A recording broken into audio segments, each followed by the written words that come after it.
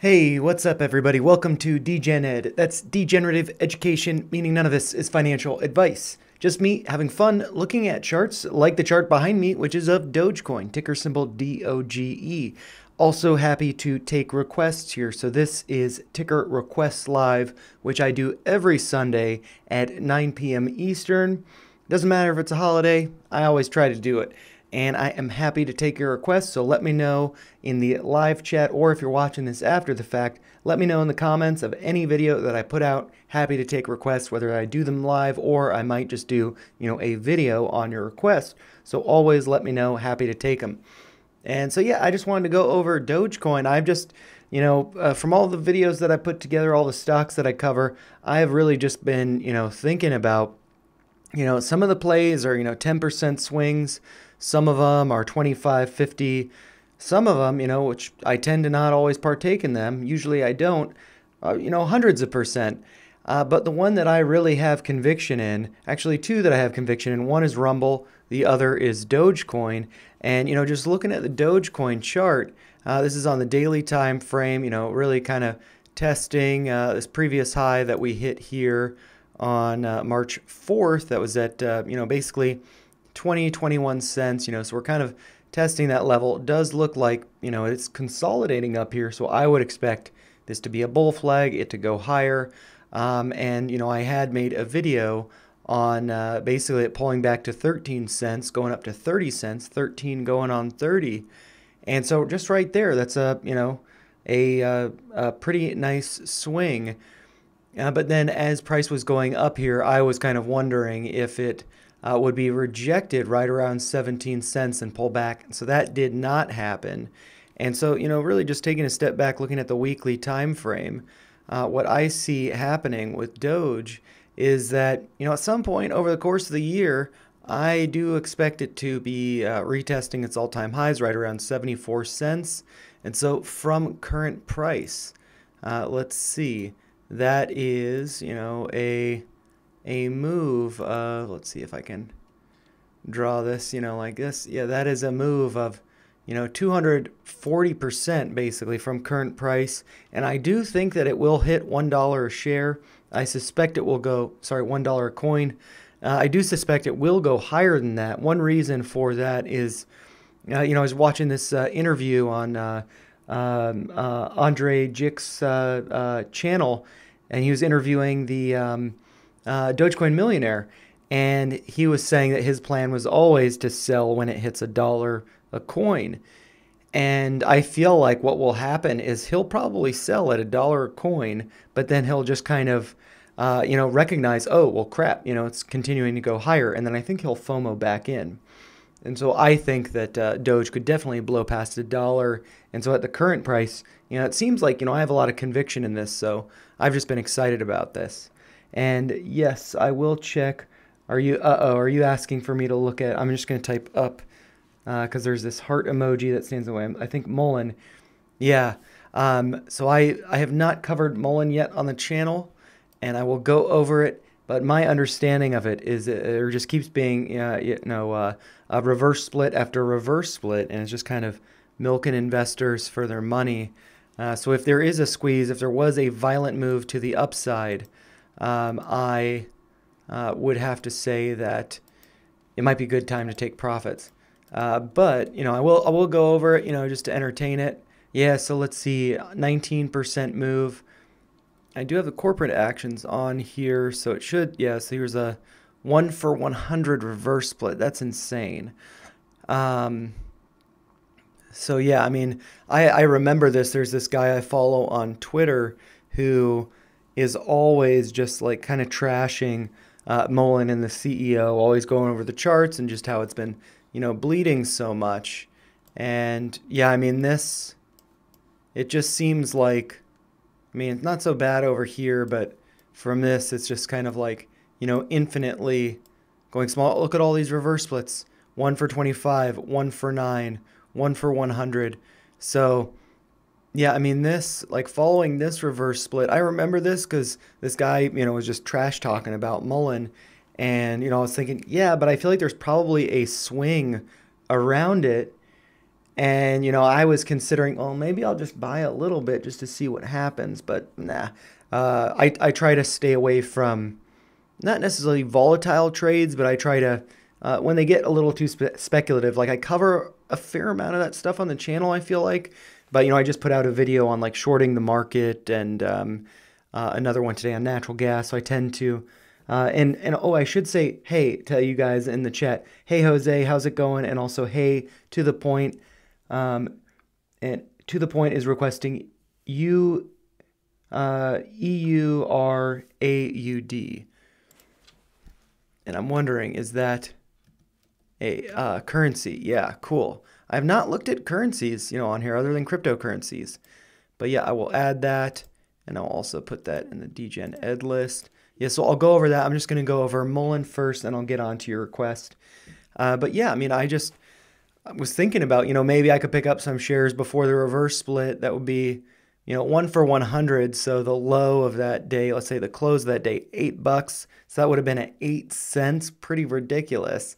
But then, you know, it squeezed up that next day up over 100%. So that would have been a nice swing. But then, as you can see, that was, you know, $8 close. Um, and we are now, you know, below that.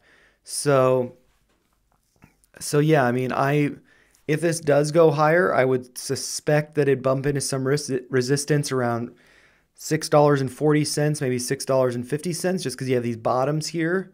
Um, really going back to like a January twenty fifth or January twenty fourth, really. Um, and so I could see that as being some resistance. If we look at the volume profile, you do have, you know, because of this consolidation over here, there's going to be some resistance there. Anybody who, like, let's say, uh, just thinking about like the psychology of this and somebody who might have picked up some shares, like, let's say, you like uh, you see this green move here oh it goes up 4% i know it can squeeze higher than that. And then it goes up here 16 almost 17% on the day. And it's like oh it's going to keep going. I'm going to fomo in. I'm going to buy. And then you buy here and then you know nothing. And then it starts to squeeze up here. And it's like oh yeah this is going to keep going. This is going to keep going. I've seen this before. But then it just completely reverses the following day and so you're left just you know holding your shares here around 8 bucks 780 a share.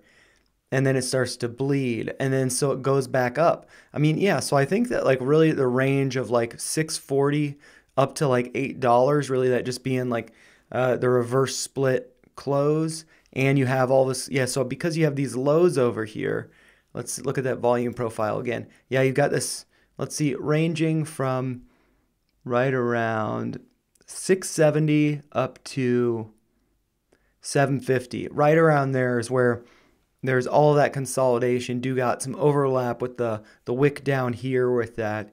And so i could see this having a tough time getting through that. If it does though you know yeah it could potentially squeeze. But i just think this is a pretty risky one to be holding long term. As you can see this is going back to like it's just like really like going back to i guess the beginning of 2023 but just over the course of the year it's just I mean, these three reverse splits, one for 25, one for nine, and which I don't get why they did this one, and then a one for 100. It's probably just like, okay, you know, we one for nine wasn't enough. Let's just go, you know, all the way with it. And, you know, that really hasn't worked because this was, you know, $8 a share, and now it's, you know, hit a low of like 411 $4 a share. So that, you know, going from basically 8 cents here to 4 cents here. It's just like flirting with, you know, continuing to go down. But, you know, maybe there's something, you know, I don't really know um, uh, the um, uh, fundamentals of the company and stuff, but it just seems like um, I I wouldn't for me, you know, I'm not in it. I didn't even think about I mean, I guess I thought about it, but I didn't partake in this little squeeze move there. I think that's really all that it's kind of good for, in my perspective. Maybe I'm wrong, um, but I, I, it just seems like a risky one.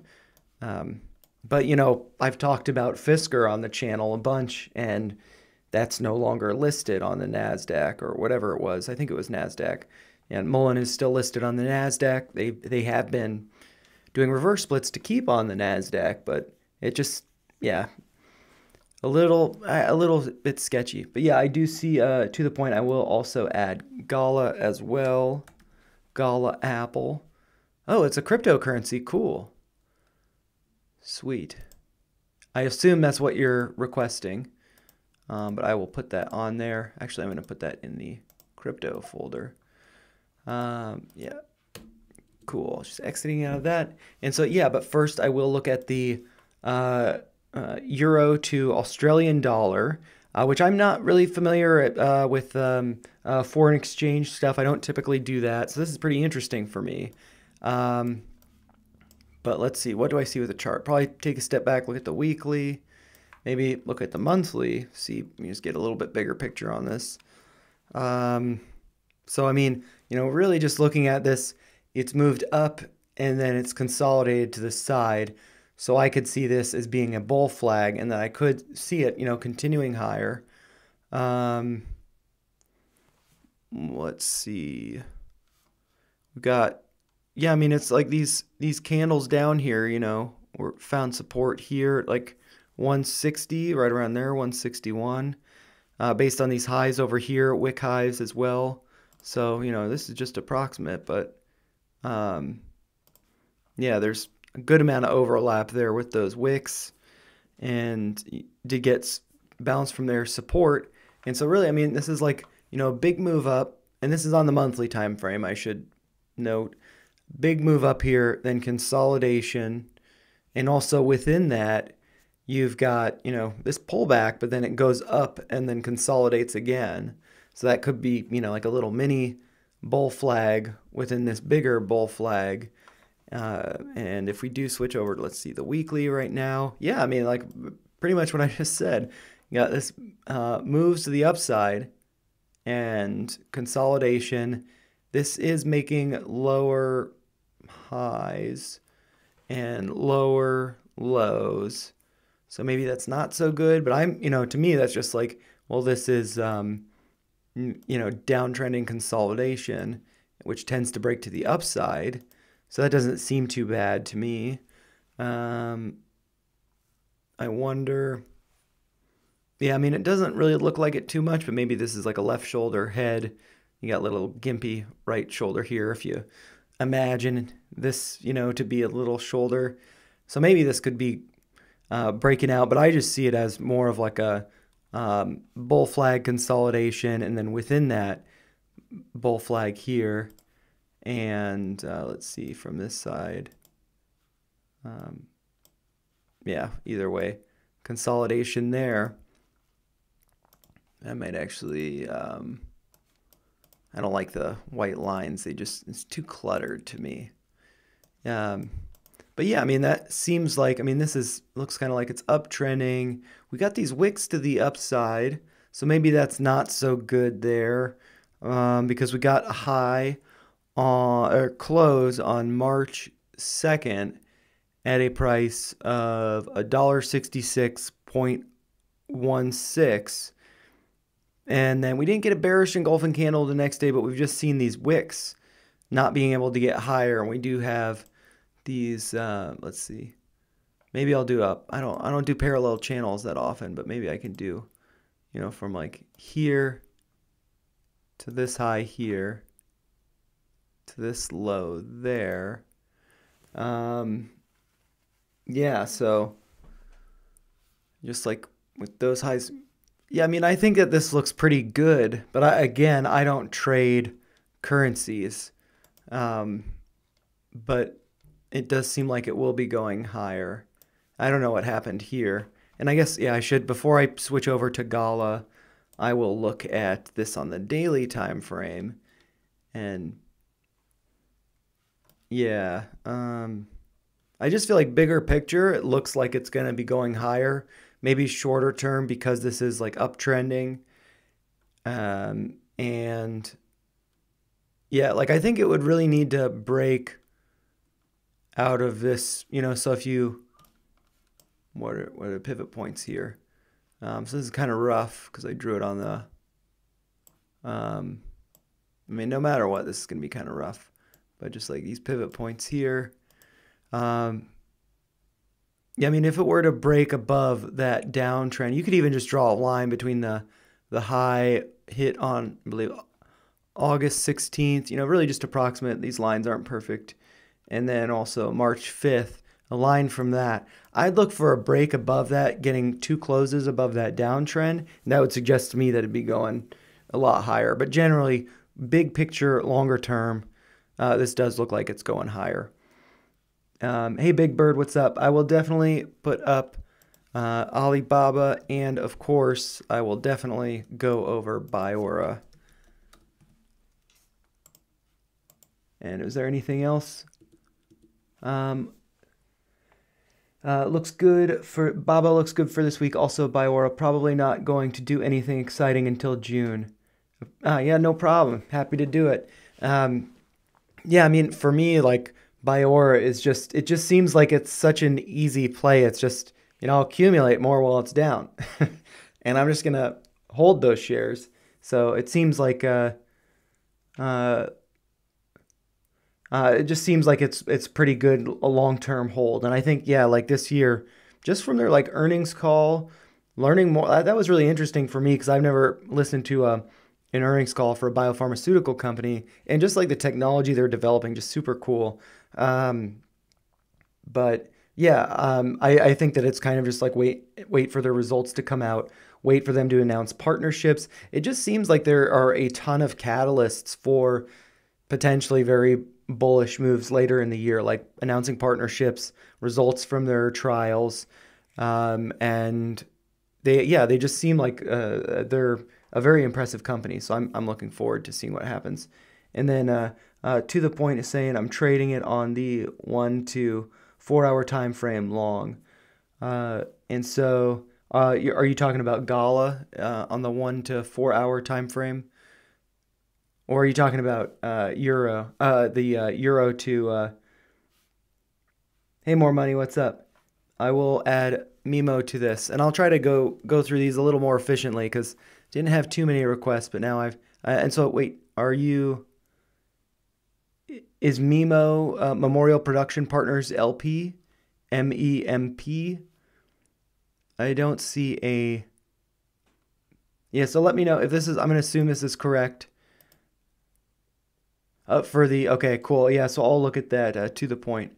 I'll look at the shorter time frame for this, um, which I I don't typically do. I I find it enjoyable to do during like earnings calls, but I don't typically look at stuff like intraday price action too much. This could actually, I mean, maybe you've got, I mean, I'll just draw it and see what you think.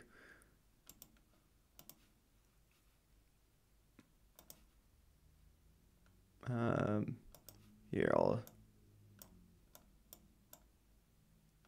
um, yeah, maybe, I don't know, this is kind of rough, but maybe there's like a left shoulder over here, somewhat head here, this hasn't gone higher than that, hasn't really pulled back to that level.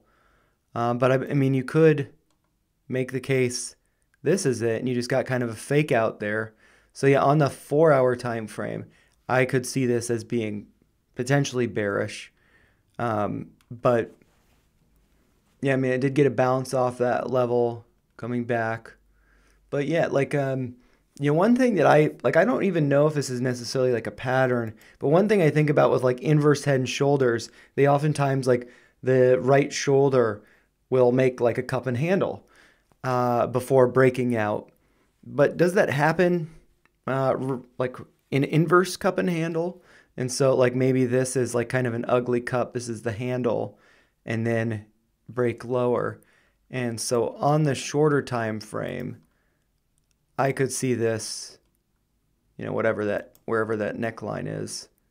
Yeah, I could see this coming down to, um, yeah, 161, 162. I kind of, you know, miraculously have that level marked from, let's see, looking at, was it the daily or whatever? Uh, let's see, going back in time. Yeah, so I could see it I could see it pulling back to like the lows over here. Looking at the yeah, so with this being uptrending, but you know, I'm not the best at identifying flags and the directions they break. Um, I'm, I'm just not that great, great at telling that. Uh, but I do see, you know, these wicks to the upside looking on the daily, or this is a weekly time frame, uh, that could suggest that, you know, there aren't enough buyers above like 166. And yeah, not a bearish engulfing candle there, but um, yeah, uh, let's see, look at the one hour time frame. Oh, this is constantly trading? That's crazy. I'm That's funny. I have no idea what I'm doing with uh, current with foreign exchange. Um, but yeah, I could see this. Let's see, one hour time frame. Man, um, yeah, I just I mean, look at like as far as this goes, just on the four hour time frame, this looks to me like it could be breaking down. So that's, but I, you know, like I said, not too familiar with foreign exchange. But yeah, those are my thoughts on that one. Um, MIMO. Okay, cool. I'll adjust that here. Oh, and I'll delete this one. And I'm going to try to go through these in order that they were requested so I don't forget them. And so the next one on here, uh, Gala USD, this is a uh, cryptocurrency, which is actually, I don't have it on here. This is back in 2023. So um, I'm going to delete that and I will try to pull it up in uh, over here. So I'm not too, I need to, I don't have an account with uh, um, TradingView, so I just need to, where do I search for stuff? Um, here, up here. So Gala.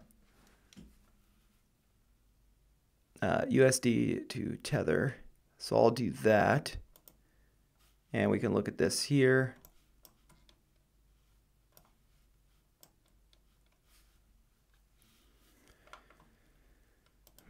Oh man. I don't want to zoom in, I want to zoom out. All right. So So we got that.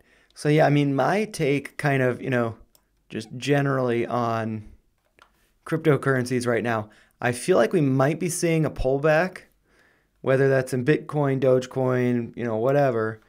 Um, but at the same time, I think that we could be ripping higher before there is that pullback. Maybe there's not a pullback. And what I've been doing, I haven't really been accumulating any coins the past um, year or so. But then in like December, I started, um, you know, which is stupid. I should have been. Uh, but in December, it's like, okay, well, you know, my bottom thesis didn't play out. So it's December, starting a new year. I'm just going to start adding this stuff because I think it's going to go up. And now that Bitcoin's crossed the all time high, and, you know, I, I actually just put out a video that might be applicable for just like cryptocurrencies in general uh, just kind of like about thinking about hitting the all-time high, hitting a new one, and just like people aren't really talking about like where where I work. I don't talk about cryptocurrency or trading with anybody, but if Bitcoin, you know, whatever was making headlines, everybody's talking about it. People be bringing it up to me at work, you know, just chatting about it. I'd overhear people talking about it. And so I'm kind of waiting for that as like a top signal, like an ultimate top signal. And, you know, that hasn't happened yet. I suspect it will um, at some point. I don't think we're there yet. I think pretty much everything's going a lot higher. And so with this trading at like 6.8 cents and the high being up at 84 cents, that's pretty insane. I don't know anything about Gala, um, but from current price up to those all-time highs, I mean, can you can you trade this on Coinbase? Uh, that's a uh, percent increase. Um, yeah, so I'm I'm curious if you can trade this on Coinbase because I um, I don't know if I have uh, a um, Binance um, account, but I do have a Coinbase account. So this could be something where it's just like you know I've just been kind of accumulating some coins, just like we'll see what happens. And if this goes up, you know, you could turn uh, $100 into uh, over a thousand dollars with this. Um, no Coinbase, yeah. Um, so yeah, I don't I don't really play around with too much of uh, the coins that are like not so mainstream. Uh, but yeah, that is pretty. Yeah, I mean, I I feel like if you're if you believe in this token and or coin, uh, you know, this seems like it has a lot of upside potential, even if it's just you know coming back to like you could just you know two x and walk away. Um, but yeah, I mean, also though, I guess good to be thinking about, you know, from current price to like returning to the lows. That's a 70% drop, which, you know, to be honest, for Bitcoin going back to the recent lows, same with Doge, it's all around like a 70 to 80% drop. So this doesn't really seem that risky. Like there's a lot more upside potential for something like this. Um, your price target for Gala is 40 cents. I mean, I think that's pretty reasonable. Yeah. Um, and also that corresponding with this high over here. Um, yeah, I mean that that seems like a good a good swing. I don't know how long that would take, uh, but you know, like for me, I've just been as far as crypto goes. The position I'm building that's the largest is Doge, um, because I just feel like there's still a lot of upside potential for it, um, and it's easy to to trade to move stuff like that. Uh, Gala is a very big project. Cool. Yeah, so this is something that I I'll probably poke around and like try to learn more about. But um, yeah, I mean I like man, and just think about it too. Like somebody who like bought up here, it came down two percent. That's crazy. Um, I'm gonna delete that. Um, but yeah, uh, it seems like um, and I'm gonna I'm gonna move on to and hey NASCAR, what's up? Is there is there even an intrinsic value to Bitcoin? I think I think Bitcoin's going to be. Um, I think like for me, Bitcoin, I'm just thinking about it as like retirement. So yeah, I think it's going to be worth a lot more in the future. An intrinsic value, I think its its value is storing value, um, like the same as gold, but you know more tangible, I guess. Um, and so I'm gonna I'm just gonna scroll up in the in the chat to see what's next. So I just went over Gala. Now I will do Baba and uh, and then next Biora for Big Bird. And man, I've got okay. So this is on the four-hour time frame. I'm gonna switch over to the daily. Got apparently a bunch of gaps on here that I've pointed out. it's like looks like Star Wars or something. Just tons of lasers going on. Um, yeah, and so actually, I could share this. Um, I could do this actually right now. Well, um, I don't know. Let's see, best way to do this. Um, yeah, I I will share it after the stream. Uh, there was, I believe, um, a it might have been a, it's a show that's on the Verified Investing channel, and Baba was gone over in that. So I can share that video. And I believe, let's see, um, I think it was bullish on it. Um, I do see that there's this breakout from this downtrend.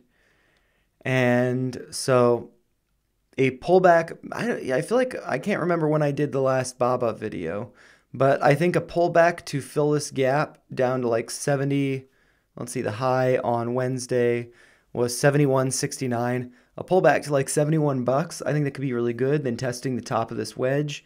And if that is respected, yeah, I think it could be going higher. And it's not too surprising that it did get rejected from around here because of this orange uptrend. Let's see what that's based on. Uh, based on the open uh, from December 11th and then the high here from um, January 16th. So that's a little bit arbitrary. Um, but yeah, I mean, it does seem like, you know, we've gotten some bounces around that level. So, you know, just right around there, just being kind of approximate, did get rejected from there. So that's not terribly surprising. So I would think a pullback to like 71, that could be perhaps a good dip buying opportunity, but you'd also want to make sure that it doesn't break below uh, this downtrend. Let's look at what that downtrend is based on. Um, it goes back. I think I actually did that on the weekly time frame or, you know, I think these were probably Fridays. Uh, no. Uh, let's see. The high here, uh, January 26th of 2023. The high of 19. Wait, sorry. 119.69. And then the other pivot point is the high that was hit on November 15th of 2023, that being at a price of $86.66. So from those two pivot points, that's how you get that downtrend. So, you know, if you want to throw it up on your chart, um, that's probably a good level to be monitoring. Do we get a close below it? So like ideally it dips down to, let's see, what was the the close on Wednesday? That was um, 71.59. So let's say there's a, a wick down to like 71.50, but then a close above. Really, I mean, you want to see I guess it depends on the day. Like if it's Monday, you wouldn't want to see it close below like 7180, something around there. Or if it's, uh, let's see, Tuesday, you really wouldn't want to see it closing below like 7160, somewhere around there. Just see that it's respecting this downtrend. And if it is, that could be, you know, we've gotten these fake out breakouts. You know, this, you know, gotten one up here, then a big move up, but then it, that was all pulled back, you know, following this, you know, big red candle. Uh, lots of, you know, big wicks to the upside, uh, pull back right around to that level, but couldn't hold, rejected again, back under it. So yeah, I just I just look for a pullback to around 71.50, 71. That could be a good dip buying opportunity, but you know, like you can never time the bottom, you can never buy the exact bottom. So you might just want to look, does it pull back to those levels and then does it close above this downtrend? And if it does close above that downtrend, that could be, you know, a sign that the bottom is in and that this could be going a lot higher. But I do think it would be good to listen to, I'm pretty sure it's Benjamin Poole's uh, take on it. Um, he probably does some really good analysis. I don't think I've actually watched the video. If I did, it was a few days ago. Uh, but I think he was bullish on Alibaba. So something to consider there. Oh, and yeah, it might just be like here. Yeah, I think this is probably what he was doing. Um, you know, because I'm not, I'm still, you know, like learning this stuff. Uh, but from like the low there to the low here, that's a higher low. And so, you know, really, I mean, you'd want to, I don't have it drawn exactly here. Um, and actually, I probably will. What's the low on this day? On Wednesday, the low was 7058. So I'm just going to, just so I, if I come back to this chart, those are fixed into place. So that's right there, 7058. All right, so that's locked into place. I'm just gonna make that line a little bit thicker. So yeah, that's another line that you wanna be looking for. If, if it does maybe break below this downtrend, you don't wanna see any closes below this uptrend. There have been wicks to it no wicks below it, and so you want to see that it's respected. Maybe you get a wick below, but as long as you don't get a close below. Um, so that's those are two lines that I would be keeping a close eye on, as well as this gap fill. But if you are going to be uh, paying a visit to either of these lines, you know you're pretty much going to be filling that gap. So that's something to keep an eye on. And then I will look at Biora next, but I'm just going to scroll down to the chat, see what else people have been putting in there. Um, and so uh, to the point, it says, uh, I collected 2 million of Gala. Dang. Yeah, so I hope it goes to 40 cents for you. Uh, whole crypto coins like this on the chart. Uh, and then so Jose says, I used to own Gala on OKC OKC coin. Or OK OK coin. Uh, and, and let's see, to the point, Gala became so big since the last bull market. They made Gala Chain and made games, films, music. Oh, cool. So it's like, um, yeah, it's like, um, I guess a metaverse coin or something that there's more like, uh, uh, layered applications, games, stuff. I like, to be honest, I don't really know too much about, um, those kind of coins, but it reminds me of like, um, sand and, uh, you know, those, uh, more interactive type of coins and stuff. So that's pretty cool. Um, and do I track?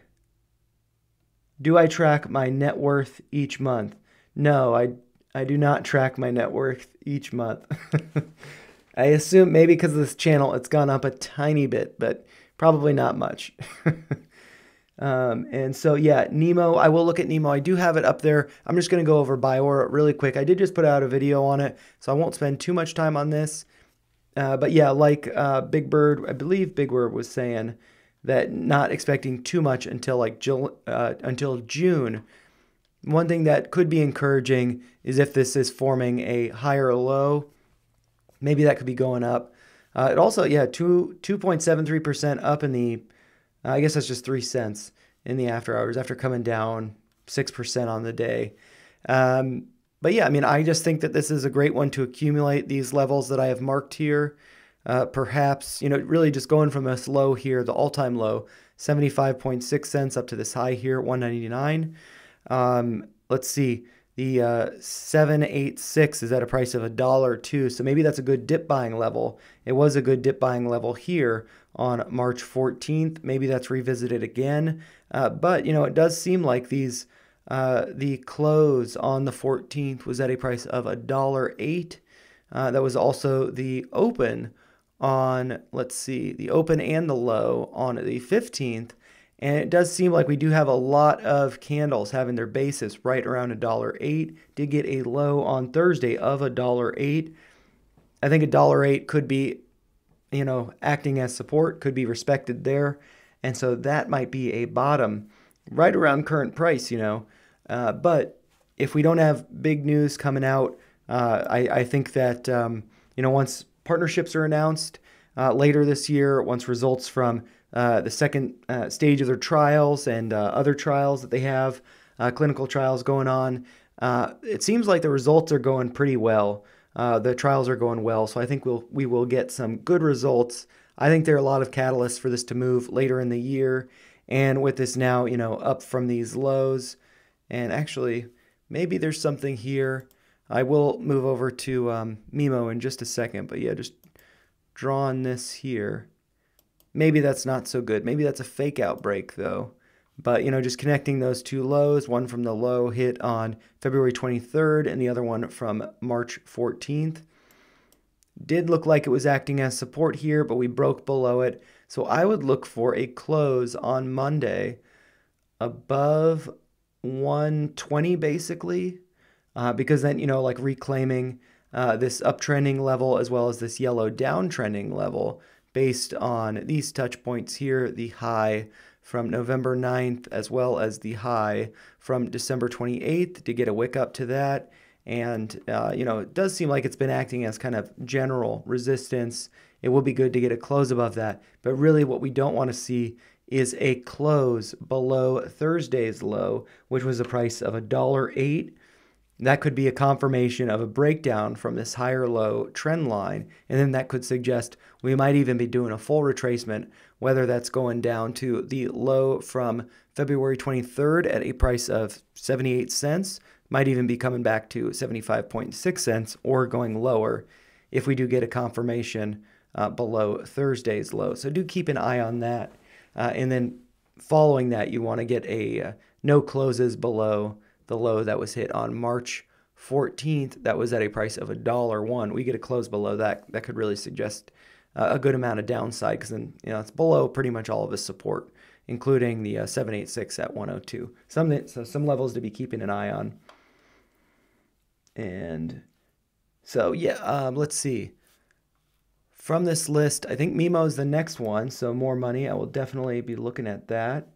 And I'm just making sure Let's see. Um, so I got that for more money, Mimo. XLM price prediction for 2024. I will add that up here as well. I'm not sure if I can look at that. Oops. Yeah, ho hopefully, hopefully there's price action in here. Um, and hey, Justin, what's up? Tilray, yeah, I'll definitely throw Tilray up here. And so I'll I'll look at that once I've caught up on this list. Just trying to do them in order because I forget them if I don't do them in order. They get lost. And so yeah, looking at Mimo, this is Airspan Networks Holdings. I'm just going to read their profile so I know a little bit more about them. So Airspan Networks Holdings is a designer and producer of wireless network equipment for fourth generation or 4G and fifth generation 5G networks for both mainstream public telecommunications service and providers and private network implementations. So the company offers a range of software defined radios. Okay, so we kind of get the idea. And as I'm reading this, I am just realizing, you know, I haven't done this. So cheers, everybody. Happy Sunday. If you celebrate the holiday today, happy Easter. If not, that's fine too.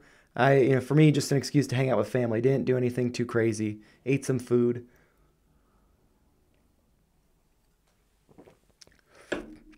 But yeah, happy Sunday. I'm excited for the week ahead. Should be um, should be a pretty good one. I don't know. Uh, it's uh, I've been working the second shift at my job, so I work from uh, two thir- two in the afternoon to like ten thirty. It's my last week doing that. Next week I'll be doing a different rotation, uh, so I'm, I'm looking forward to it. A change. Um, and yeah, happy Easter. Uh, Tilray has its earnings on the 9th. Cool. I'll definitely want to do probably a dedicated video for just Tilray. Leave the other uh, uh, cannabis stocks on the side and just do that for for their earnings. So that's a good idea. Uh, but yeah, I'll first go over Mimo and then Stellar, and then I'll do Tilray. Just trying to keep them in order. Um, but yeah, so looking at Mimo here, I think one thing that would be good for this, just to get kind of a general idea, I'm just going to make sure all the levels are there, so that's good. I'm just going to do a Fibonacci retracement from the bottom here. So that's at uh, 7.11 cents going up to the high here with 42.4 cents. Let's see if I can get that lined up just right. Okay. And so from that, we have broken below the 786. So it doesn't look too good as far as that goes. Um, and yeah, but maybe there's something. Let's see. Um, maybe because we do get a run up in the middle of that. One thing that is concerning about this, I would say that just like looks a little bit fishy to me is there's this big wick up on January 12th and then this red day with no wick up and then a gap up. So it's like, man, there's this gap that needs to be filled. You know, the high of that day, which was also the open, 8.83 cents. So I could see price going down to filling that at this point just because it has broken below um, the 786. But if we do another retracement, this should include, let's see, what's uh, the uh, 1618 extension. And so maybe that would be a level that uh, might offer some guidance. I feel like it's probably going to be pretty low though. Um, and so the low on this day, 14 cents. So I'm just going to try to get this lined up. It's going to be approximate, but uh, oh, dang it, wrong tool. Let's see, uh, 14 cents, 1402 up to the high here at uh, 29 cents. I'm just going to adjust these uh, 29 and 14. And so from this, the 1618, yeah, I expected it to be pretty low. Um, that is at a price of 4.73 cents. Um, maybe there's this other, I think this is just going to be pretty hand wavy. Uh, but there's this little run up here. Maybe there's something with that. Which this high was uh, 18.74. I was trying to get it just right. Close, as close as I can get it. Yeah, like 865. That is, you know, right around a gap fill. So I wonder if this is coming down to fill the gap here. And so really, like I, I feel like the takeaway from me for this is following this big run up, it's pulled back lower than the 786. So it's like I don't really see any clear levels that it'd be finding support at. And then from doing these retracements, this extension, this next level down does line up with a gap fill over here. So that makes sense to me. Uh, maybe if we look at the volume profile, maybe there's, yeah, like um, coming down to this volume shelf right around 9 cents, 8.93 cents. So, and, and also to looking at this, you know, you got down moves and then it's just been consolidating and it hasn't been able to, let's see, um, you know, it's like it's forming. Yeah, this is, let's see, I'm just going to put the shift on. So that's flat. And this is, that is a descending triangle. Descending triangles tend to break to the downside. It's a bearish formation. And so basically my understanding of how those work is that basically you have this downtrending level. And so as price goes up, it's testing that line, but that's just like compressing it lower. And so it's just not able to get higher. There are just no buyers up here, and those buyers keep fading. But, you know, this flat line here, I think this, this should be flat. Um, that is just repeatedly being tested over and over and over. And because of that, you're eventually going to dry up. Like buyers from that level are eventually going to dry up and then it's going to break lower. And so it's just because you're hitting the same price over and over and over. Whereas up here, that price is changing, suggesting there's weakness. I mean, it could, you know, this could be like a spring, it's coiling up to launch, but these do tend to, you know, the buyers down here tend to dry up because you've got buyers up here, you know, uh, you got buyer like for this candle, you have buyers around this level, but then it pulled back and then those buyers just keep fading down here. And uh, so eventually, I think that this will break to the downside. Sorry if that's not what you want to hear, but I think like eight to nine cents uh, would be a target. Uh, so that's what the chart's telling me there. Um, but yeah, just a lot of weakness. Really, mainly coming from it being below the 786 and then uh, seeing that gap in this pattern. But I could be wrong. It could break to the upside. And uh, so yeah, I'll look at um, and more money. You're also asking, oh, look at news. Oh, it's up 5% in the after hours. look at the news. Yeah, I, thanks for telling me to look at the news. Um, receives up to seven, uh, sorry, 95 million equity financing, eliminates all debt, and becomes private under Fortress Major owner. Yeah, so how would that be trading if it's like private? Um, so I'll just click on this. Uh, so I'll just read this real quick. Uh, a provider of ground. Okay, so what's the news? Airspan and its U.S. subsidiaries have filed voluntary package Chapter 11 proceedings in the United States Bankruptcy Court for the District of Delaware. The court, in order to implement the agreement, it has received support from. Yeah, I mean, um, this just seems risky. Um, I like I don't know like a. Uh, yeah, so this yeah this news with it being you know that it secured money i think that's good. But that yeah so airspan receives up to 95 million equity financing eliminates all debt and becomes private under fortress majority ownership. Uh, so i wonder you know what um, files chapter 11 to expedite restructuring. Lists estimated liabilities in the range of a million to yeah so i'm i'm not that familiar with bankruptcies and stuff uh, but just looking at the chart, I'd say that this is going down with the bankruptcy here, filing uh, Chapter 11. Doesn't seem too good. So yeah, I I think if it's, if you're like waiting for a squeeze, I, I would think it's squeezed to the downside. Um, and you know it had already squ- squozed here, so. But yeah, and then I will add uh, Litecoin. I, I see your comment on Litecoin. I'm just going to type up so I can read. Uh, Litecoin big squeeze now. Yeah, I've I've been following Litecoin. I actually started buying a little bit of it. I just do very slow like uh, dollar buys of coins, and I started adding Litecoin to it, and um, yeah, so really just for for swings, making uh you know small amounts of money as I basically stack Dogecoin, um, and Bitcoin really, and Ethereum Classic. I like those. Those are my uh, more longer term cryptos, I think. Uh, but yeah, I will look over XLM first, and then I will get onto Tilray. And so looking at XLM, I like kind of just the way that I'm thinking, this doesn't have all the history of uh, cryptocurrencies here, and this this stops in 2023. Dang it. Yeah, so I got to look at this in TradingView. So I'll just pull that up here. This is actually good for me to uh, be getting practice looking at stuff um, like this. So I will do XLM futures. I don't want futures.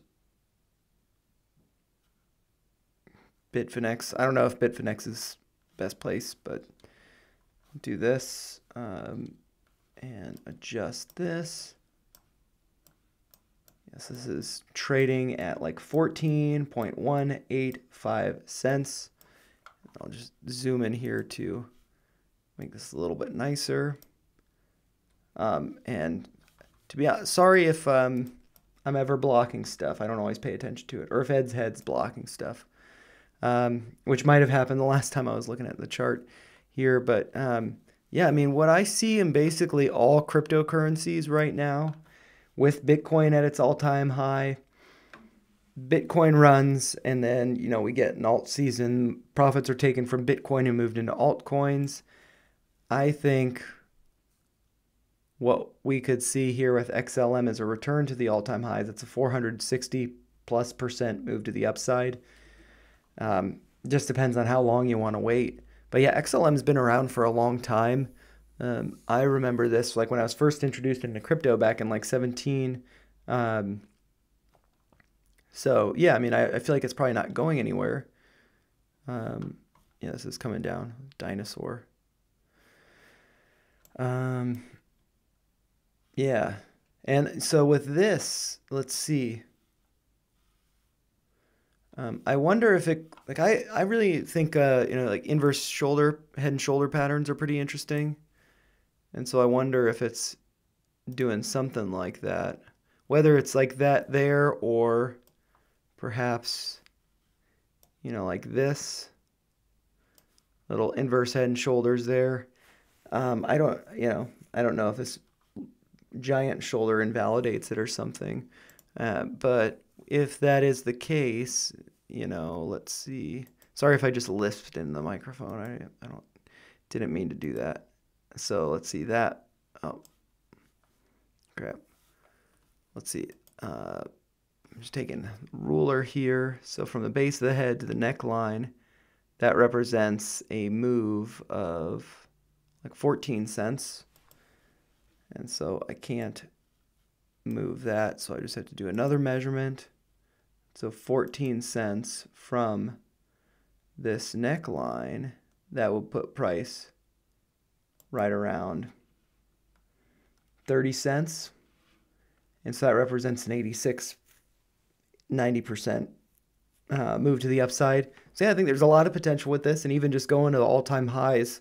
That's kind of you know how I'm thinking about stuff with Doge and and the other altcoins is just what's what's the move to the um, to the all-time highs. If Bitcoin's at the all-time highs now, I do think it's going to be going higher. And the video that I just put out on Bitcoin and Dogecoin do kind of a I, I think I actually do a measured move on Bitcoin that would suggest prices going to like 127,000 uh, approximate. And um, yeah, I mean if that if it's rallying that much more, going that much higher than the uh, um, uh, current price than the all-time highs, then I think that these alts could really run up a lot. So yeah, I mean, I'm pretty much all cryptocurrencies, you know, with the, you know, thought that it's quite possible they might be pulling back um, in the near in the near term. Uh, but I think like by the end of the year, I think they're all going to be in really good shape. But I of course could be wrong. But I I'm excited about cryptocurrencies and whatnot. And so, yeah, I'll go over Tilray. Got this right here. So, yeah, earnings coming up on the 9th. One thing that I'd caution about this, which I'm sure, uh, Justin, I think you were asking about Tilray. I'm sure this is not what you want to hear. Uh, but with it having this big move up prior to earnings, you know, so this is, let's see, 64%, 65% basically from the lows there before earnings. Uh, let's see, are there any bearish signs or anything like that? But I, I just think that, I mean, one thing, this is forming a double top. You know, got a wick, wick up to here, but couldn't close above 254, which was the high on January 9th. So I'd really keep an eye on can we get a close above 254, which would be, you know, getting really basically confirmation above this level. And then following that close above it, can we get a second close above it above that new high. So, you know, whether that's above 263.5 or, um, you know, whatever that new level would be, I think we just need to see confirmation of a close above 254. That could be showing some strength, but this could be, let's see, channels, uh, pretty interesting. Yeah, I mean, so what I could see happening with this, which is, you know, bullish long term, but perhaps not something you want to hear short term, with earnings coming up, I could see price pulling back to around $2 a share and then finding support on this white downtrend, which is like this parallel channel. Sorry, I keep zooming in and zooming out. Um, but yeah, I mean, like price has been in there for a good amount of time. Does look like it was, you know, roughly, you know, respected over here. But from these pivot points, price has been within there. And so I think, you know, this is a great breakout from that downtrend. But I think it's probably running out of steam. And so I could see that around earnings, it might be pulling back following the earnings. And so it might be good to tr- at, like I I had a small position in Tilray, which was like kind of laughable how small it was. Um, I just I cover too many stocks and I want to get involved in all of them, but then I end up just having very small positions in a lot of them, and it's like it's pointless. Um, so yeah, I just to simplify my portfolio, I don't have any more Tilray. I wish I did, uh, but you know, with it being up here at like 250, right around there, I'd expect it to be having a tough time getting above that level, forming a double top here, pulling back. So, you know, if I did have a position in it, I'd want to trim uh, a fair amount of the position and then I'd wait to buy back around $2 a share. Um, which, you know, considering that this downtrend is lower than $2 a share, and actually a good thing to do with this, be doing a Fibonacci retracement. So we got the low here at uh, 160, going up to the high here at 263.5. Are there any levels that stand out? Yes, yeah, so the 618 is right around 2 bucks, 199.5. I could see price returning there after earnings. Um, and quite possibly it could be doing a, a retracement to the 786. That's at $1.82.1. Not that that 0.1 matters, but that could coincide with a retracement to test this downtrend and then as support so, you know, it could be like a, a really nice swing to trim here uh, or around here, around 254, and then buy back those shares. Maybe, you know, a portion of them around $2, a portion of them at 182, but maybe that doesn't happen. Maybe I'm wrong. And so that's why I think like trimming is good. If you sell everything here, then, you know, maybe it squeezes up way higher, you know, following earnings. Maybe it goes up to $3 or higher after earnings, then you still got some for that. But if it does go lower, then then you've got some on the side that you can add back in if it does go lower. Um, so that's that's what I would do if I had like a big position in Tilray. Um, but you know, you got to like everybody's different. Everybody manages uh, the emotions, the um, uh, stress, the uh, uh, fear, greed, you know, all of that. Everybody manages that stuff differently. And so for me, the way that I manage it, I'd, I'd trim pretty heavily and I'd expect to buy back at these levels. And one thing that I've found, you know, from the videos that I do, whenever I go over all these fib levels, what I do is I like average into a position as it goes down. And it's like, no, what I should do is 50% retracement. That seems likely. That's at like 212 that's when I should start adding back in. Not at the 236, not at the 382, but the 50%, and then the 61%, and then the 786. Um, and, you know, maybe it even dips lower than that. We got this purple uptrend based on the lows over here. So, you know, the low uh, from June 21st, and then also the low hit on November 13th. So that purple uptrend um, it's quite possible price could be returning to that. That could be coinciding with a test of this white downtrend, top of that channel, and then moves higher. Um, and that could also, you know, correspond with 172, this orange line here. That's a little bit arbitrary though, so I wouldn't put too much weight into that. But this purple uptrend, maybe there's something there. If that does coincide with the 786 uh, or this uh, the top of the channel, I think that could be a great, great dip buying opportunity because there, clearly there's a lot of potential uh, with the cannabis sector. Lots of good news coming out in the future. Progress. That's what you want. So yeah, I I feel like it's probably going to pull back around earnings, but that could be a great dip buying opportunity. Oh, and I guess I should look at you know the RSI here. Is there anything that suggests? So this is let's see. Um, it's ba- like RSI is about the same as it was, you know, or this is actually, so this is a higher high here, lower high where it currently is. I'm just going to delete that so it's a little clearer to see. But yeah, so we got the higher high here, lower high here, and then with the RSI, we have a lower high and a higher high. And so that is bearish divergence. But with that being said, price could continue higher and uh, the RSI could continue higher. That would then negate uh, the bearish divergence, but price would have to go up to 336 to negate that bearish divergence. That, in my opinion, with earnings right around here, seems unlikely, but maybe it keeps going. Um, but yeah, and so, yeah, I'll, I'll skip to the next ticker, which I think is uh, Litecoin. But yeah, I'm just going to read your comments, Justin. Appreciate your thoughts. If it does go back down, I see it has great buying opportunity. DEA could approve Schedule 3, and Canada has the Cannabis Act up for renewal April 16th. That's good to know, right before April 20th, too. So that could be, you know, a lot of catalysts around there. Um, but yeah, so that's, um, yeah. Um, but it also could be, that stuff could be sell the news type of events. So I think it's good to like uh, be prepared for, uh, you know, downside if that does happen. But if it does uh, keep going higher, that you still got some to just hold on to and forget about. Yeah, you never know. Um, I mean, I think this was a uh, pretty beautiful bottom, you know, kind of like fake out broke below this um, uptrend and uh, and formed this double bottom here. So that's uh, really kind of like a triple bottom here because there's a little bit of a double one there, double tap. Uh, but yeah, so uh, the cannabis stocks have been exciting to cover, and so um, I'm probably just gonna release a clip of this.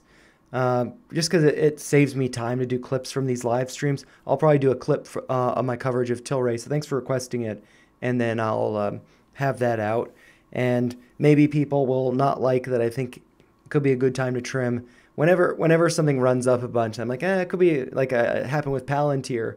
People love those videos, but then I start to say, I think it could, could go down. Those videos don't get views. But, you know, I think that, you know, there's a lot of great potential with Tilray. So, yeah, no problem, Justin. Thanks for the suggestion. And so now I will switch over to Litecoin. And, you know, I have been doing this for an hour now. Happy to take more requests if people do want me to go over them. Uh, but I'll probably, you know, wind this down pretty soon. And so Litecoin, yeah, this is, let's see. So I think what would be really good, so this is on the date, well, this is on the weekly time frame. I guess we just, uh, yeah, so this is the new, and actually, um, I might actually switch over to um, TradingView because I don't really like how Webull does the cryptocurrencies. I don't know exactly what the uh, closes are for them for the weeks and stuff.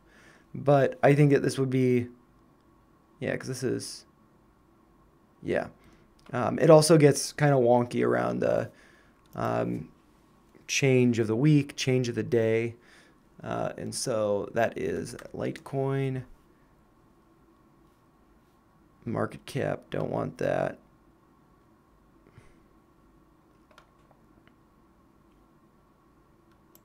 Do this. All right, and so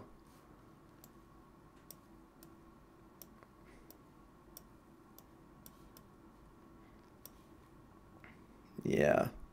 I have not I have not looked at Litecoin that much. I've always been intrigued by it. And um yeah, so I mean it does look like maybe there's some I'll just zoom in. I well I mean th- this is really like kind of my thought process with the altcoins right now. This is basically the extent of my thought process with them. What's the current price? Okay, what's the all time high? That is 273% to the all time high. That seems like a good trade. Um, but, you know, with that, it does, yeah, it actually looks like it's uh, at quite a good amount, amount of resistance. You got these this double bottom here and uh, you know, consolidation over here, rejected here, and but it does look like, you know, I don't even have to draw anything for this. With that line there, and actually maybe, um, let's see. No, yeah. So with it like this, what we have here is a little Litecoin cup and a handle here, and now we're testing that. Does look like this is a bull flag. This is exactly uh, what was needed. Didn't have enough juice back here in uh, July of 2023. Couldn't get above that level, got rejected, pulled back. This was a great time to be accumulating, although pretty boring, I imagine. Um, but yeah, so here, you know, very clearly, I mean, actually, I don't even know if that could be, you know, because you could draw trend line from here to there. Yeah, look at that. That's pretty cool. Um, that line's approximate, but if I do zoom in on it, what looks like we got was, you know, test here, rejection, pull up, close above, retest. I think this is going higher. This is looking pretty good. Yeah, Litecoin Litecoin's looking really good. Yeah, I just started actually I think I think on this day on the 29th, I think I started doing my like daily buys, just very small.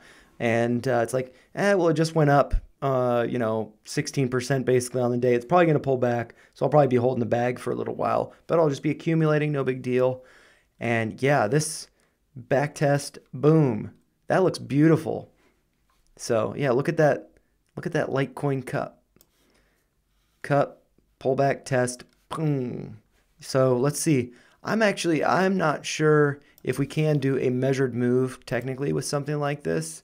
I don't know what exactly that's valid with, but going from the base of that cup to the top of the cup, that's a um, move of 26, 27 bucks.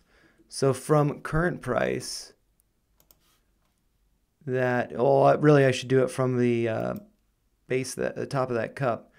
26 bucks would 26 27 you know right around there they put price right around 130 and so let's think about what is going on with 130 that might be resistance so i might take a step back so we can think about that what is at 130 140 right here does look like uh, you know that was support here in uh, September of 2021, support again December 2021, and then resistance over here February 2022. Let's see what this high was. 133. So yeah, this this pivot high here might be you know one to pay attention to like 133. 130 to 133. I think that's where price could be going for Litecoin. So, and you know, it'd probably just be a short term uh, bump. So, uh, but yeah, definitely looks good there. And so, yeah, more money. And uh, Jose, I see your comment there. Uh, please check CENN real quick if you got time. Definitely got time. I will just switch over to Webull to look at that. And I will do CENN. Cenntro. Oh, all right, let's take a look. $1.42 did just have a 1 for 10 reverse split, and it's already at a back at $1.32. This is a daily time frame, so not looking too good in that sense. Uh, but maybe there are some levels that we want to be looking at. Let's see. So it's going from the low here, which was $1. Which, so yeah, I mean, this would have been a 1 for 10. This would have been 10 cents. Um, and so, yeah, I mean, if I, you know, draw, you know, just to the lows here, this does look like, yeah, so you can see from this line, it's just like, it's not exact. Let's see. Um, I'll make sure it's exact. I just like to do that. The low here, 111. So 110, 1. All right, so from that, you can see based on this low, got multiple tests here, wicks down, no wicks below. Another test here on February 26th, no wick below. And then you get this big red candle on March 6th going down four, almost four and a half percent on the day. Get a close below, but you don't get confirmation. And then the next day, close above, get a wick below, but no close below again. Starts to move up.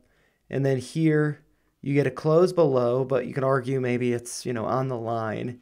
So not too crazy.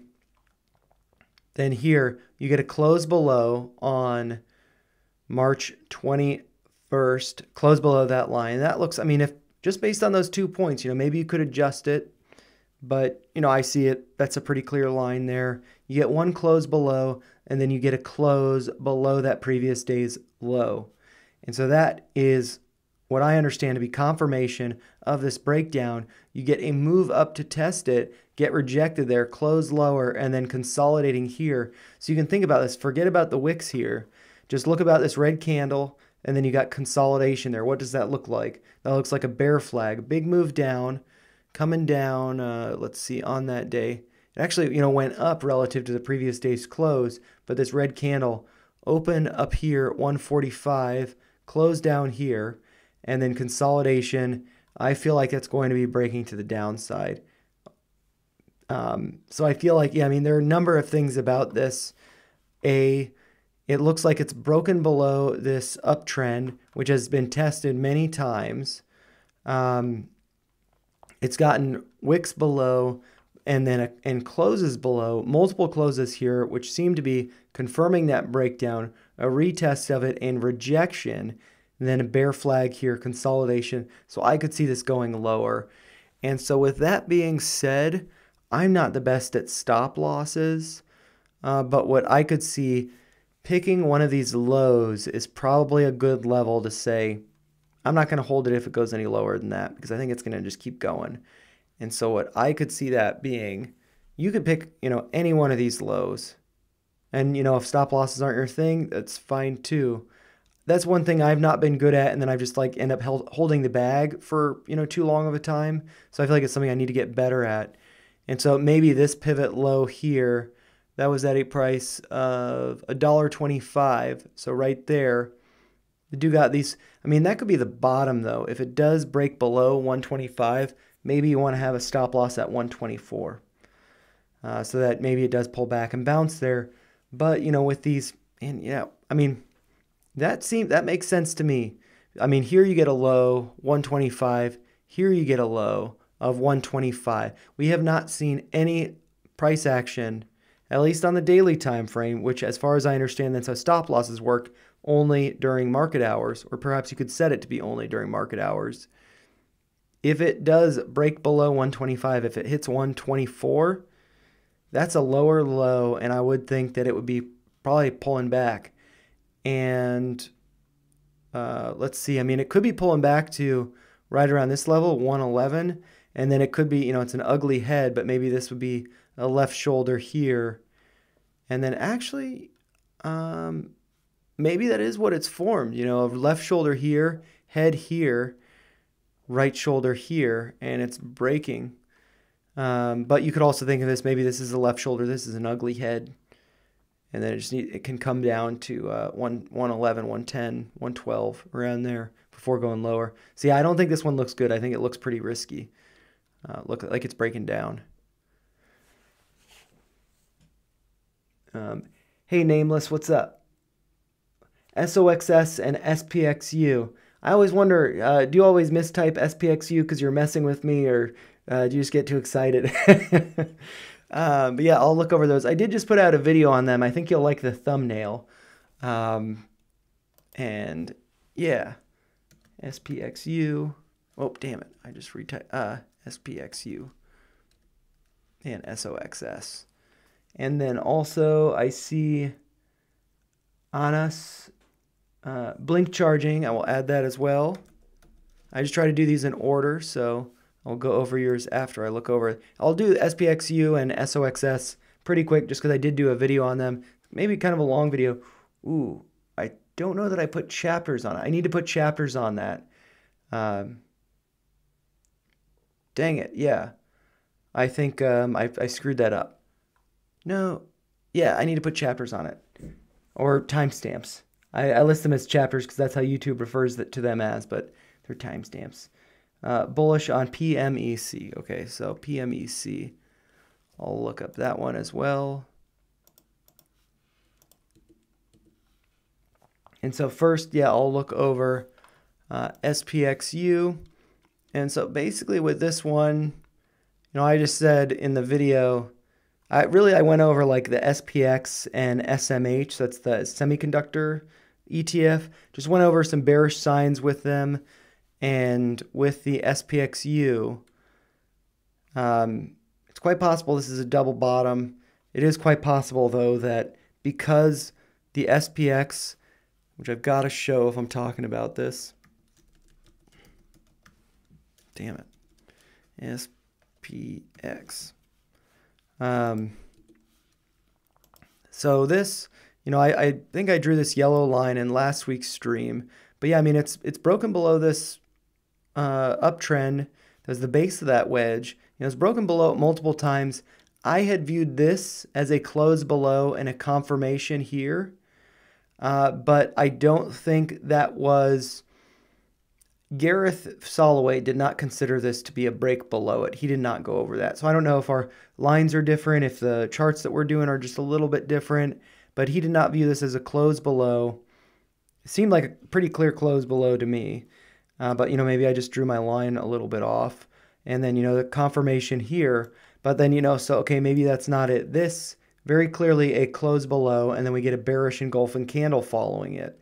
So that seems like you know, we've broken below this the bottom of that wedge, but we could still be consolidating to the upside, still being below that wedge and uh, you know, but being above this yellow uptrend. So, I mean, we hit an all-time high on Thursday. So, we could continue to go higher. So, the bottom may not be in for SPXU, SH, or SOXS. So, good to be cautious of that but it also could be, you know, getting around a double bottom. And yeah, I mean, I just I feel like something's got to be happening soon. Um, and from you know like this price, yeah, and also, I guess I didn't go over this in the video, but this actually I think I probably did mention it. Uh, 6.66. I don't think I did. Uh, but yeah, an extension from here down to 6.66. We're below that. And I don't, yeah, I mean, I think I think it's at a discount, but um, yeah, I've been like flirting with yeah, this. So maybe we're gonna be forming a double bottom. Maybe we've we've already formed it. This hammer candle could suggest reversal, big wick down, um, and yeah, I mean like the lowest close that we've seen is this one from the 27th. Um, yeah, so I think it's like good time to accumulate, but also have like be patient because it takes a while for bubbles to burst. SPXU, uh, this one, you know, maybe this is a bear flag. You know, it did go up, but then it dropped and then consolidated. So maybe this will go down. But looking at like the SMH from the video, if you check that out, uh, did have a bearish engulfing candle. And, and it just seems like I do think that it will actually go higher because um, uh, the SMH will go higher. Um, and so in turn, this would go lower. So I do think that we could be seeing SOXS back around like 286. And so there could be more dip buying opportunities around that level below it. So if, you know, one is wanting to add to the position, average down, I'd wait for a pullback because I think SMH is going to go higher. Um, and so I'll just show that real quick here, but that is in the video. Um, yeah, so basically just like, you know, Got this bearish engulfing candle, but then downtrending consolidation. Got a gap up from that, more downtrending consolidation. And then from current price, that's about a 6% move to the upside to form a double top here. Maybe that's the top. So um, I, I think um, I think that, yeah, I mean, I just put out a video short short the stock market with Margot Robbie and the, the bubble bath on the front. So I'm I'm compelled by it, but you know, it might take some time. So my position is larger larger than it's ever been, but not super huge as far as uh, SOXS goes. Uh, but for me, you know, I have 100 shares of it, so I've just been selling covered call every week, which is pretty lame. Um, but that is, um, let's see, um, I'm able to make like a dollar a week selling covered call with a strike of $4. My average is lower than $4. I don't think price is going to $4 just yet. I think it's going to be pulling back. And also, I heard from somebody in a comment that SOXS is going to be doing a reverse split on the 15th of April, I believe.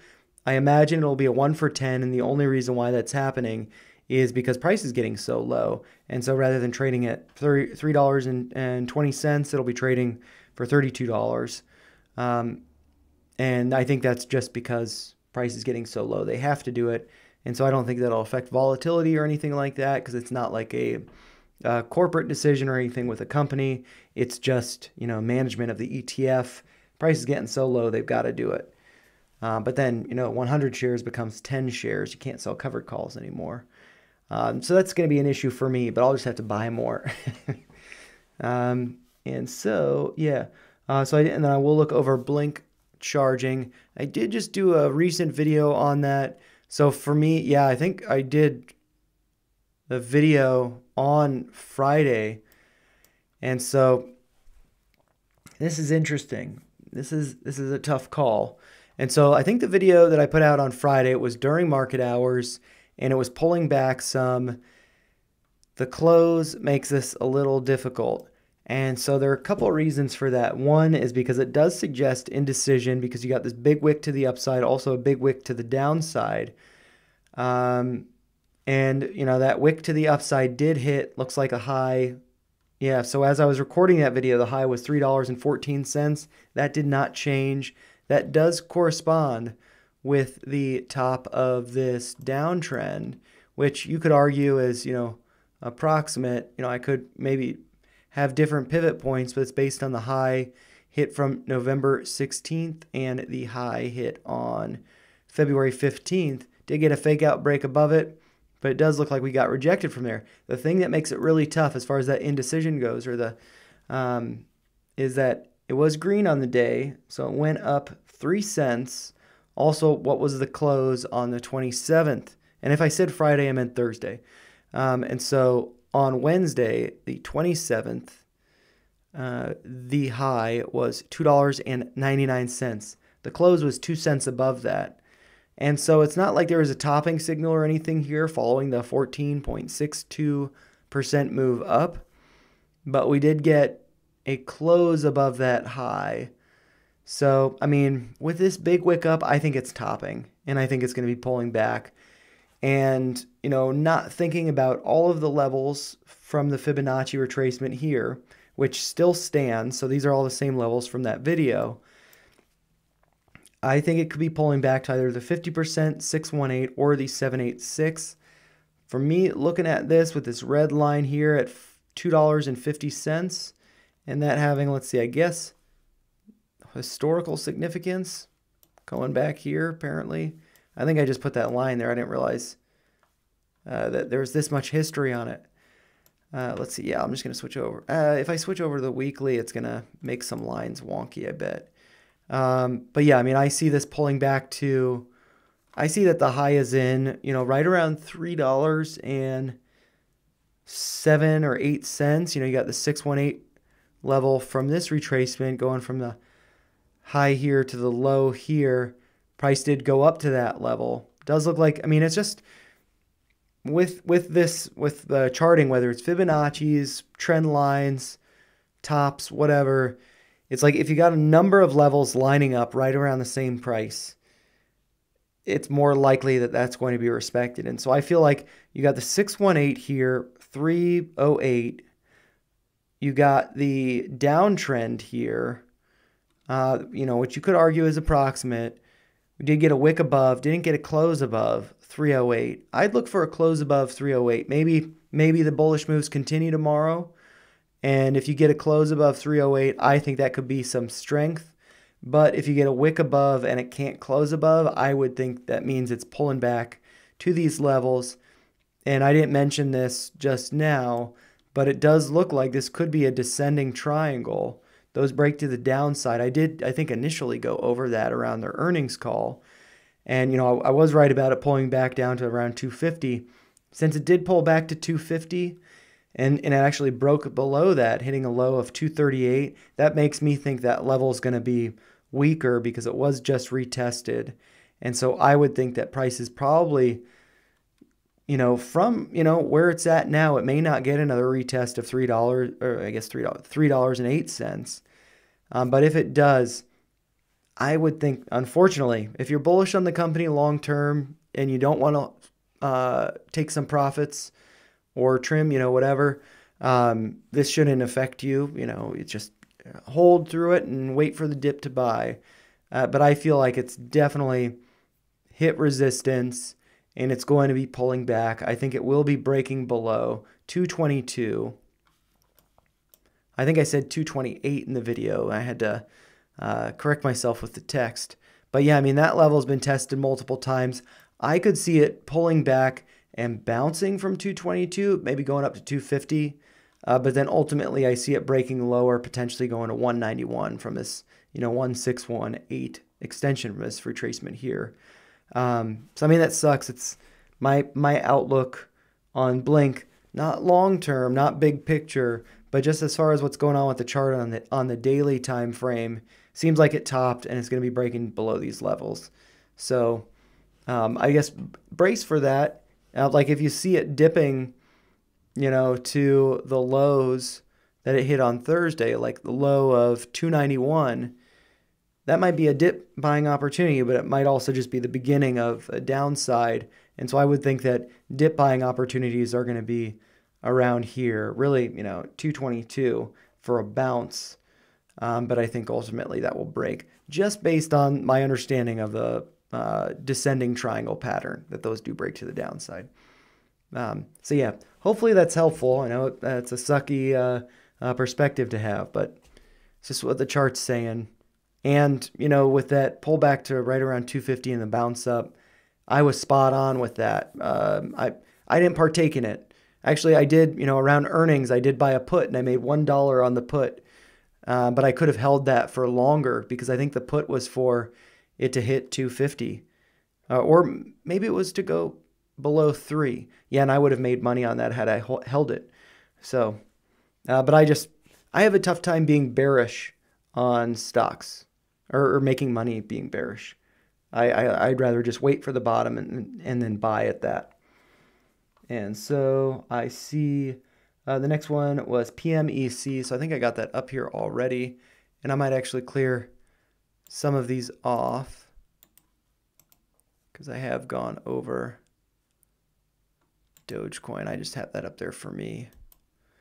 Um, and let's see. Since I did cover this, I'm going to make sure this is on the uh, Degen Ed watch list as well. And uh, let's see. Yeah, so I will switch over to PMEC. Wow. Yeah, you, I think you said something about a 60% down day last week, so on Thursday. And so what's the news on this? Uh, well, I guess what is the company? Uh, Primech Holdings is a holding company. The company is technology-driven facility services provider in the public and private sectors operating in ma- mainly in Singapore. Its services include uh, facilities services, stewarding services, cleaning services, offices, you know, etc. All right, so why is it down 66.75%? That's pretty crazy. Yeah, so with stocks like this. Pretty like, and one thing about this too, you know, um, let's see. How could we have known that this would happen looking at the chart? I mean, there is a double top here, so there's something to that, but you don't see any big wicks to the upside. You actually see big wicks to the downside. So I'd actually think that this is a bull flag, that this would be going higher. So that's pretty surprising. Uh, and so it's like, you know, how do you know does the double top signal or the bull flag signal win out? And so, you know, what I could see with this is you had basically more than a week of testing that. And then on, yeah, so let's see. And looking at thinking about the volume with this, volume's pretty light. You just can't get above that level, even with this big green day going up one and a half percent on the day, closing green, closing higher than that previous day. You just can't get above that level. So I feel like it's just like, I mean, if you get like three, four, five days, uh, and you just can't break above the level, that might be like, okay, well, it's probably more of a double top than a bull flag. Um, and so I would think that, like, if this is a bull flag, maybe five days, yeah, it could break higher. But because you have that double top, I think it's like after a few days, that double top signal wins out. And let's see, do we have a uh, bearish engulfing candle here? So this close was um, 382, and we got an open the following day, 394. So that's not, oh, sorry, um, close, I should say, because they're both red. Uh, 382. So yeah, it's the same price. So it's not bullish or bearish engulfing. Uh, but yeah, this down move definitely not looking so good. Um, and so, what could I see as support with this? I think this is a falling knife. Um, you got the lows over here, uh, 110. So maybe it forms a bottom around 110. That is what I could see with this. Um, and so that's still some more downside. Um, and yeah, I mean, and looking at the RSI too, even with that 66 plus percent drop, RSI still above 30. So yeah, I mean, I think this is going lower. Um, and let's see, maybe. Let yeah, well, let's see a fib retracement from the low there to the high here. Interesting. Yeah, this this did pull back to the 786, found support there.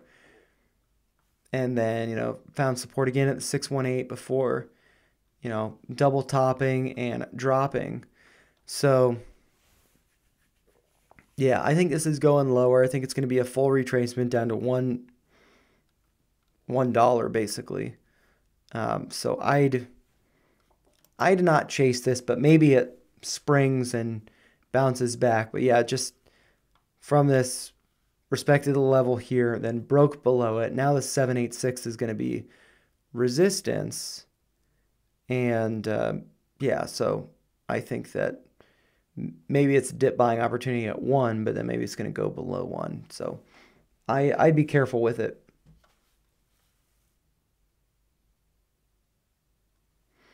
And uh, uh, let's see. Um, yeah, so NASCAR.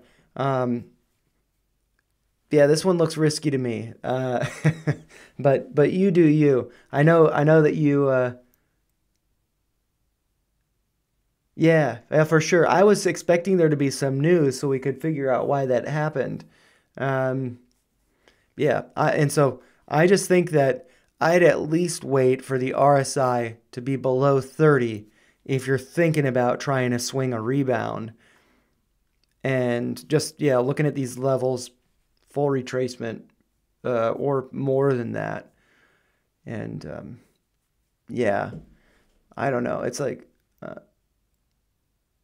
yeah i don't know like here maybe there's something in here that's three days ago so it's not going to be three days ago that would maybe yeah so i'm okay so this is three uh, holdings reports uh, 1h results i don't know what that is and so maybe there's some news here I can just pull up here. Um, let's see. Um, so that's PMEC. So what's it say on here?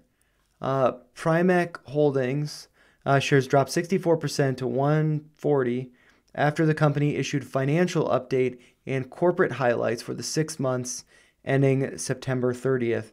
So since it's a Singapore com- uh, company based in Singapore, I believe, uh, that you know, they're basically they just basically reported their earnings, and that was a you know sell the news event, I guess. Um, and and that was not a uh, quarterly earnings. That was six months. So yeah, I could see this pulling back to 101 and then maybe, and at least RSI to um, 31. Oh, and, and something else that we could do here, looking at this chart, thinking about the RSI, this was, you know, basically a double top, higher high over here, 418. And then looking at the RSI, that is actually, you know, it's basically, you know, level at the top, but then lower high as far as the RSI goes. And also, let's see. Um, yeah, so, I mean, that's not really, uh, it doesn't stand out too much as bearish divergence or anything because it's like kind of flat at the top uh, uh, for the price. But yeah, that's a risky one. Maybe maybe I could see there being a balance, but I'd, I'd wait for a dollar or lower. Um, and and yeah, Pepe, I saw your uh, comment. Uh, everyone give Degen Ed your likes. Yeah, so uh, make sure you like the stream and like any videos that that do stand out to you, or if you want to like any ones that you watch. And um, and you can always put requests for other tickers and you know other videos. I get that a lot. So happy to. Um, yeah, I mean, I, I basically run out of ideas and I'll cover the same stock over and over and eventually it fades. Uh, and, you know, a lot of like the stocks that I tend to really cover um, or that I like to cover are ones that I hold, but they don't always perform that well. Like, like as far as videos go, like ChargePoint. I love covering ChargePoint, uh, but the videos don't always do that good. You just got to be volatile for people to want to watch. And then so, yep. And then so I'm, I guess I'm all caught up with the live chat. If there are any other uh, last minute requests, I've been doing this for a little over an hour and a half, so happy to take more requests if you guys if you guys got some. Uh, but otherwise, I'll probably sign off here soon.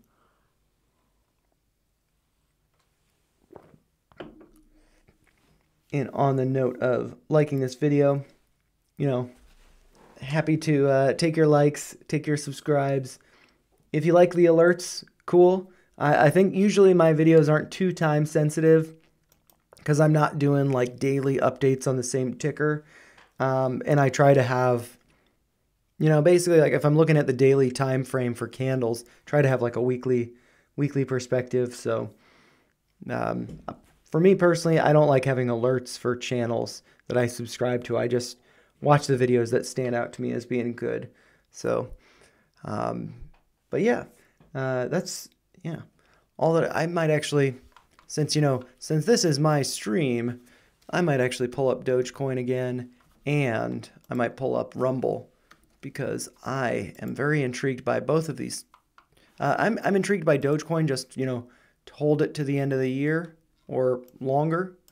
I think it's going to go to a dollar a share a dollar a coin.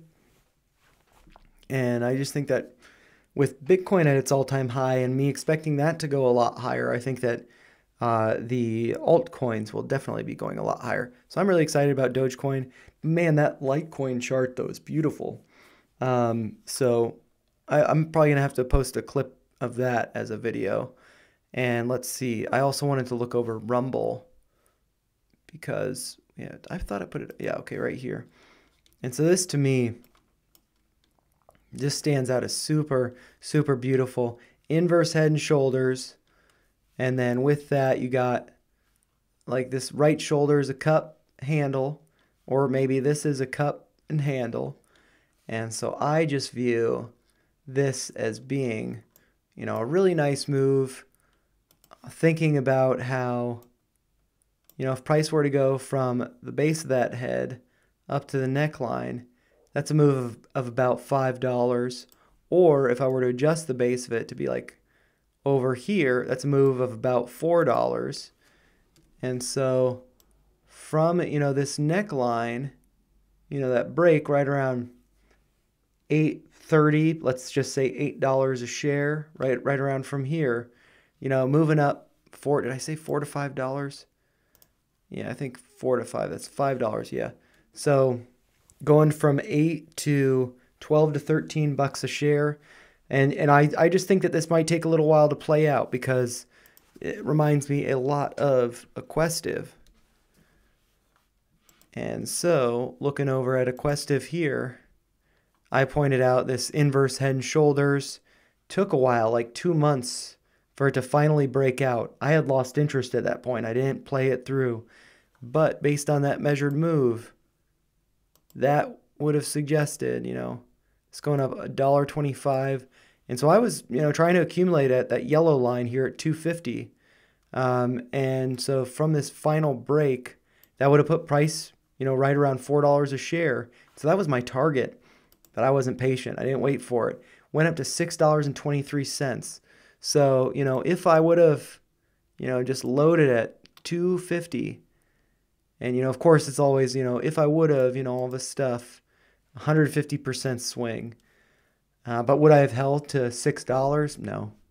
I would have sold at 4 But that's a 60% swing. That's pretty good. So, so I'm just thinking like looking at Rumble and everybody is saying, "Oh, it's going to 10. It's going to 10." I feel like it's going to, you know, 5 $5 up here. I think it's going to 13. But just like I mean thinking about if this is a measured move, you know, like Aquestive had a measured move, this blew past that measured move. And so I could see Rumble going, I could see Rumble going to 13. Let's see, I could see Rumble going to, yeah, I mean, 1350, you know, right around there. That makes sense. You got these tops over here, but maybe it could squeeze higher than that, like it did here, and then pull back. Um, but yeah, I'm the Dogecoin and Rumble are my two like highest conviction plays right now. I'd say Rumble being shorter term than Dogecoin. Um, so yeah, I'm I'm trying to you know, shift my focus, not trying to partake in everything that I talk about, but just to hone in on the ones that really stand out to me. And Rumble definitely stands out to me, although not that exciting right now because it's just, you know, it's like hanging out around this purple line. That's the neckline. I think that's a great dip buying opportunity, uh, right around eight bucks. You know, I was thinking seven bucks a share. I put out a video that, you know, seven dollar sale basically. And yeah, and then the lows over here were 717, 718. So if you got at seven dollars a share average over here, you know, you'd be in the in the clear. So I think it's a pretty cool chart. But yeah, um, I see a couple people still hanging out. So if you've got any requests for me, but I'm probably just going to sign off. And so with the chart up there, I might just throw this up here just so I can end that video because uh, I'll probably do a clip on Rumble. Uh, but yeah, but you know, those are just my thoughts. Uh, I, actually, I screwed that up because I was thinking uh, about other stuff. Um, usually I just do that kind of on the fly at the end of every video. Um, but those are just my thoughts. If you found them helpful, make sure you like the video, share your thoughts in the comments down below, and subscribe to the channel for more videos like this. Thanks a lot for watching. And so, yeah, that'll help me out. Oh. I almost stopped recording this because I have a habit of whenever I do that subscribe thing, I hit stop recording right after it. But yeah, anyways, it's been fun hanging out with you guys. I will release clips from this live stream tonight and tomorrow. Uh, maybe tomorrow. Uh, maybe I'll do this before market opens. I don't know. Uh, but yeah, I'll just try to release some clips from this because uh, you guys had some pretty nice requests and um, and then uh, yeah, I'll try to do some more videos during the week. So let me know your requests. I won't be able to do an evening live stream, but I might be able to do a market live stream if you guys are interested in that. Uh, but yeah, uh, I hope you guys have a great start to the week. Yeah, Jose, no problem. Yeah, thanks for hanging out. And uh, yeah, uh, great trading this week. Good luck to you all. And um, yeah, I'll I'll try to do a live stream during market hours one of the days. Maybe open on Wednesday. That might be fun. Um, unless there's some news uh, around a market open, I might try to do uh, a live stream around then. But yeah, take care, you guys. Hope you had a great Sunday and a great long holiday weekend. And yeah, I'll talk to you guys later.